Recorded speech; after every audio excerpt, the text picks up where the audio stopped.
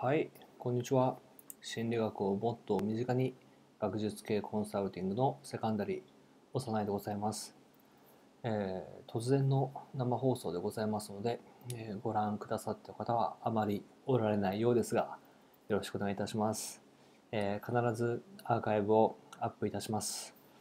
そうですね、え今回はまだ新企画、いつまで新企画なんだろう。